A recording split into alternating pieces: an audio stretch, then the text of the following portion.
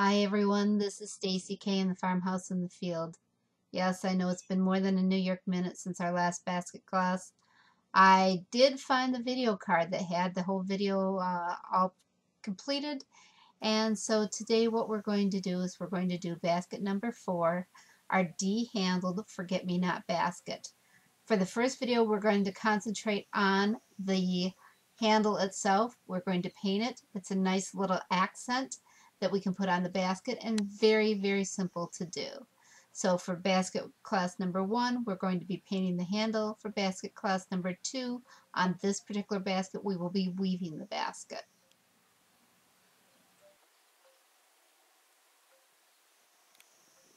Step one is simply to prep your basket. I use Minwax stain, let it dry completely.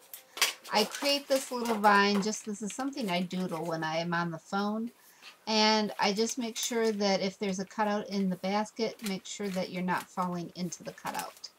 We're going to tape it down once we find where we like it, and then we're going to use some transfer paper. Uh, in this case, white would have been a lot better, but I didn't have it. So transfer paper, remember the transfer side has to be down. We're going to slip that underneath our tracing paper where we have made our pattern. And then all we're going to do is use a pencil and we're going to trace around to transfer our paper to the handle.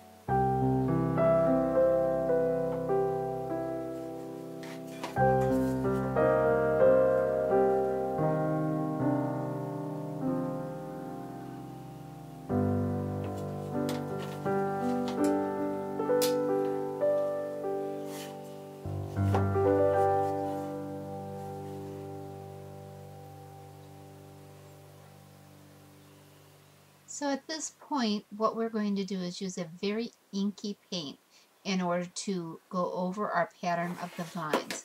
We want something that flows very easily. After that, what we're going to do is we're going to basically use a the paint full strength and we're going to fill in our leaves and our flowers with the colors that we want. Now again, do not feel that you have to use the colors I have. These are the colors I have on hand anything that you like in your painting toolbox you can use. You can paint the vines any color you want.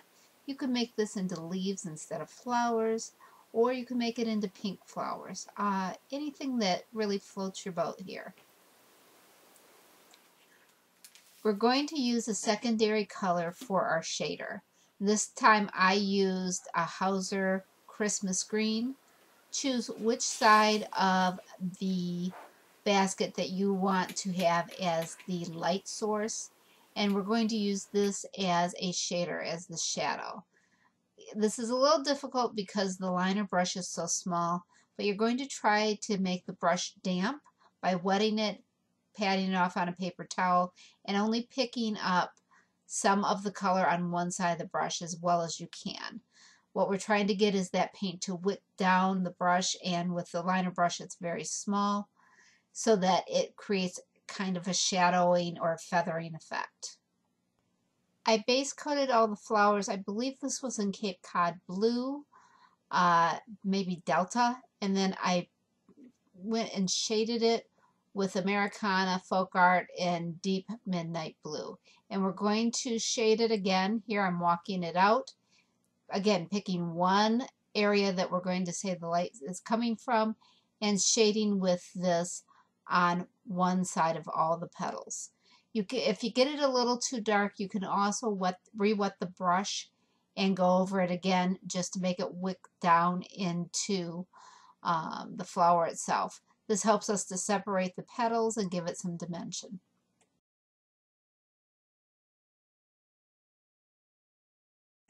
Unfortunately, it looks like I did not capture how I made the centers of these flowers. Simply put, you flip the brush over, you dip it in some paint and go straight down in the center of the flower. Lift it straight up and you have a perfect little dot. To finish off the handle portion of our basket, we're going to use a satin varnish. I prefer matte or satin varnish. And we just go over the basket and we let it dry. Once we do that, we are ready to weave the basket. Stop by for basket video number two on this basket in which we will be weaving this basket. Uh, if you like this video, please like, subscribe, and stop by when basket video number two drops. Thanks so much for watching.